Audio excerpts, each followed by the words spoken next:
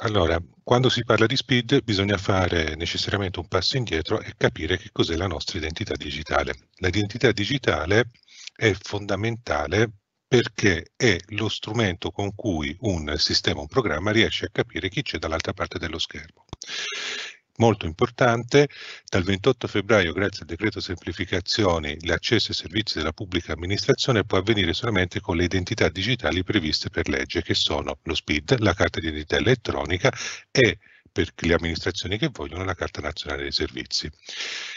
Da settembre non saranno poi utilizzabili identità che sono stati o meccanismi di accesso che sono stati rilasciati dalle amministrazioni a differenza di questi, quindi diventa fondamentale fare il focus su questi tre strumenti.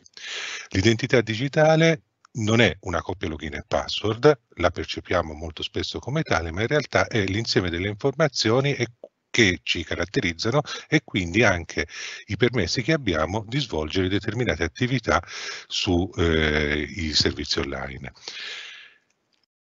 Il primo meccanismo di utilizzo dell'identità digitale è quello che è stato utilizzato nei social network e anche oggi viene ancora utilizzato. Replay, ad esempio, eh, permette l'accesso ai propri servizi, pur essendo un servizio pubblico, tramite l'accesso alla piattaforma Google o di altre piattaforme. Perché viene fatta questa scelta? Perché l'utente risparmia tempo, non ha bisogno di fare un'ulteriore registrazione, sfrutta la registrazione che ha già fatto presso un fornitore di identità.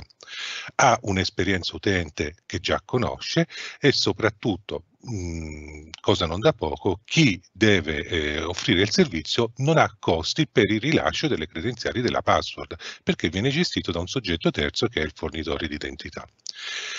Ovviamente utilizzare le identità dei social network non è eh, solamente vantaggi, ma ci sono dei grandissimi svantaggi. Non si è certo che il meccanismo di identificazione sia stato fatto in maniera corretta, con forza, Peggio ancora, il fornitore di identità può utilizzare i miei accessi ad altri servizi per analizzare il mio, il mio comportamento e quindi farvi profilazione sopra e soprattutto la sicurezza non è detto che sia sempre garantita, anche se la sicurezza è mediamente elevata, e però può essere posta in subordine alla facilità di utilizzo.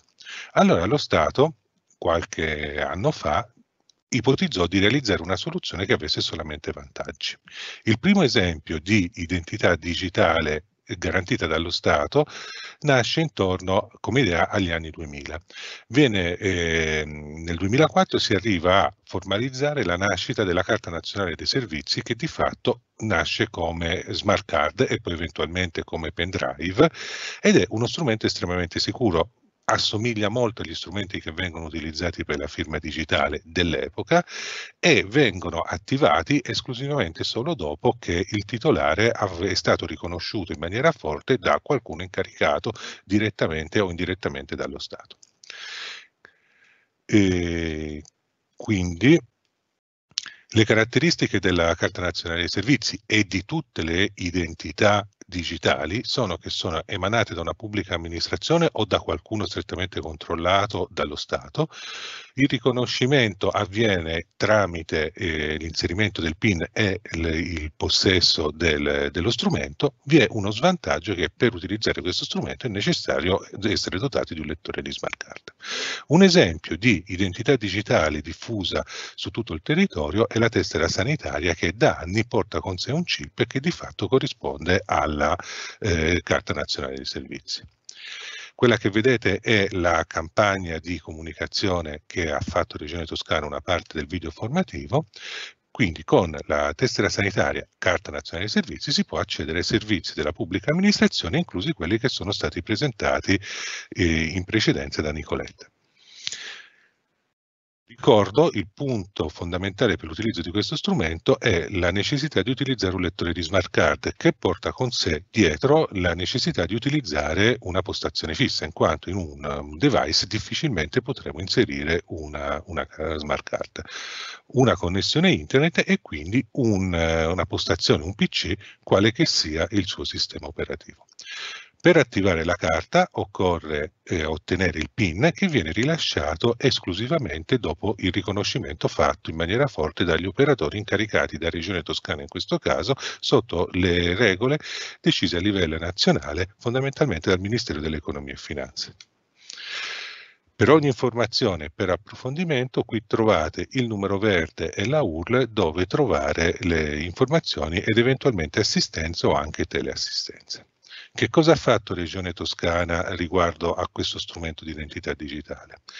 Ha fatto la promozione all'uso con informazione, ha fatto un'attivazione diffusa, essendone il titolare in primis, si è preoccupata che in tutte le realtà, in tutti i territori fosse possibile attivare questa, questo strumento, ne ha gestito l'helpdesk e attraverso le proprie infrastrutture ha permesso agli enti che hanno voluto di eh, utilizzare questo strumento come strumento di accesso ai propri servizi. Inoltre nel passato si è occupato, quando i lettori avevano un costo eh, elevato, di eh, sfruttare economie di scala per abbattere il costo di accesso per lo strumento. Carta Nazionale dei Servizi, che ricordo nasce formalmente nel 2004 ma c'era nell'area degli anni 2000, eh, non è riuscita al 100% a, a, raggiungere gli obiettivi che, per cui era nata. Per esempio, l'esperienza utente non è così facile, non è possibile utilizzarla ovunque, occorre una postazione fissa e questo ci crea, uh, crea all'utenza non poche difficoltà e non sempre, sem non sempre è facile effettuare le installazioni necessarie e la configurazione necessaria. Quindi nel 2016 nasce l'evoluzione del sistema dell'identità digitale, il famoso SPID. SPID è una federazione, una collaborazione fra vari soggetti, i più conosciuti sono i gestori dell'identità, coloro, quei soggetti a cui ci si può rivolgere per ottenere l'identità, i fornitori di servizi, nel caso che abbiamo visto Regione Toscana piuttosto che il Comune di Firenze, e i gestori di attributi qualificati che non sempre sono percepiti o percepibili dall'utente, ma sono quei soggetti come gli ordini che garantiscono ad esempio che un soggetto è abilitato all'esercizio di una professione. Quando vogliamo ottenere speed dobbiamo eh, andare a rivolgersi presso uno dei attualmente nove eh, fornitori di identità che hanno eh, sorpassato il percorso di accreditamento previsto da AGID, Agenzia dell'Italia Digitale. Li vedete in, um, in slide il sito di riferimento per SPID che vi consiglio fortemente di, di utilizzare è www.speed.gov.it. Lì sono presenti tutte e sole le informazioni necessarie e ufficiali. Per ottenere eh, SPID che cosa necessita? Necessita un documento di riconoscimento valido per dimostrare la nostra identità, un indirizzo email in un numero di telefono cellulare che normalmente si usi, non condiviso per l'utilizzo di SPID con altre persone, e poi la tessera sanitaria con il proprio codice fiscale. SPID, a differenza di Carta Nazionale dei Servizi, si pone il problema di garantire una semplice esperienza utente e quindi va a graduare la complessità dell'autenticazione su tre livelli. Il primo livello di fatto è una coppia login e password che viene rilasciata al momento in cui si richiede SPID.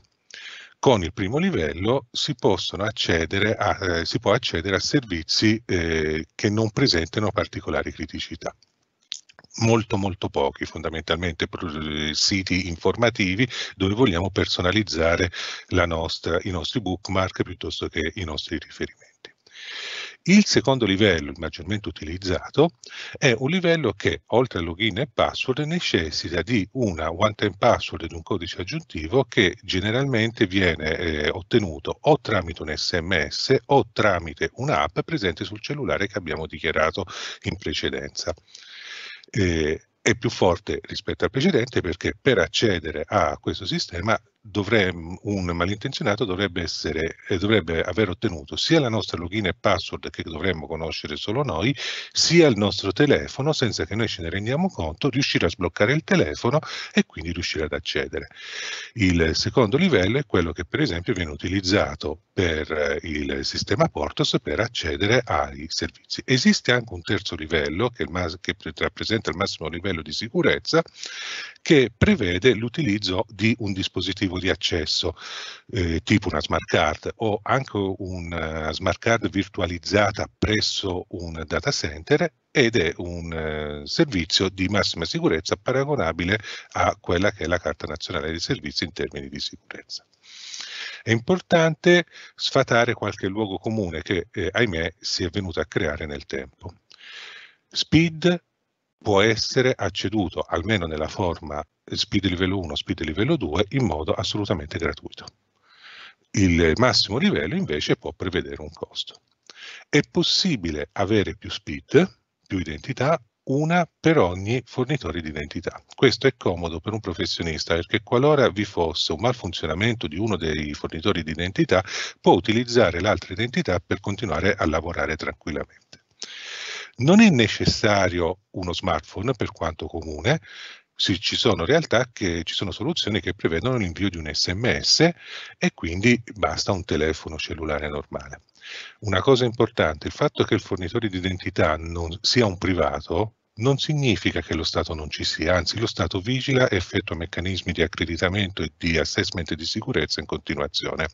Il meccanismo è abbastanza simile a quello che viene utilizzato per le firme digitali. Così come lo Stato vigila sulle firme digitali, lo Stato vigila anche sul sistema SPID. SPID si è estremamente diffuso nell'ultimo periodo, e, e, può essere utilizzato sia per l'accesso a pubblica amministrazione, cosa che è obbligatoria a breve col decreto semplificazione, ma può essere utilizzato, questa è un'informazione in più, anche per accedere a servizi privati che utilizzano SPID. Ad oggi sono solamente 15 servizi privati che permettono l'accesso con SPID, siamo in fase di, di, crescita e verosimilmente SPID potrebbe diventare uno dei meccanismi che va a rafforzare eh, la sicurezza non solo nel mondo della pubblica amministrazione ma anche nel mondo del, dell'economia privata alcune piccole informazioni di dettaglio. Come scegliere il service provider? Eh, come scegliere l'identity provider, il fornitore della nostra identità digitale? Sul sito eh, SpeedGovIt vi è l'elenco e le caratteristiche di ogni singolo identity provider. Quali sono i livelli di sicurezza che vengono forniti, l'area geografica che il sistema copre, alcuni sono validi solamente in Europa, altri possono essere rilasciati in tutte le parti del mondo, se possibile effettuare il riconoscimento di persone, così eh, mi reco presso uno sportello e vengo riconosciuto, se è possibile effettuare un riconoscimento da remoto, in maniera tale da non dover uscire neppure dal, mm, dal, mm, dall'ufficio o dall'abitazione, se è possibile effettuare il riconoscimento con firma digitale oppure con la carta nazionale di servizio oppure con la carta di identità elettronica ultimo gestione. Inoltre viene specificato laddove sia possibile utilizzare eh, SPID senza uno smartphone, bensì solamente con una ricezione di un SMS, quando è gratuito e quando è a pagamento. Che cosa ha fatto Regione Toscana all'interno del circuito SPID per favorire la diffusione, promozione, divulgazione, ha ha recentemente sottoscritto una, una, convenzione di attivazione diffusa comunicata a tutti i comuni del territorio a fine dicembre dall'assessore Gioffo e sta occupandosi di formare degli operatori per il riconoscimento. Quindi ci aspettiamo nei prossimi mesi che sempre più realtà di pubbliche amministrazioni principalmente comuni, ma non solo comuni, anche strutture sanitarie, vengano a dare il proprio contributo aprendo degli sportelli per il riconoscimento fisico delle persone che hanno bisogno di utilizzare SPID. Ricordo che per i professionisti che hanno già la firma eh, digitale disponibile possono svolgere questa attività completamente in remoto.